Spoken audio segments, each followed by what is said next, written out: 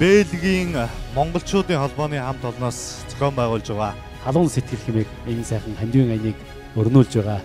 Ариун тэмүүлэл төрийн бас байгууллагын хамт олондоо энэ сайхан арга хэмжээ зохион байгуулж байгаад маш их баяртай байна. Монголчуудаа бас энэ сайхан халуун сэтгэл аянд бас хандваа сайхан өргөрөө гэж одоо бид хоёрын зүгээс хүсэж байна.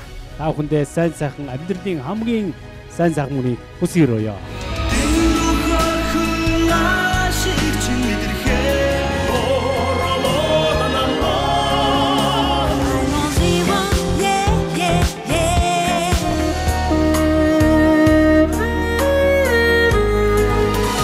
Хинишэ гүнд томгозоод юу идэ Өдөр бигэн сасахни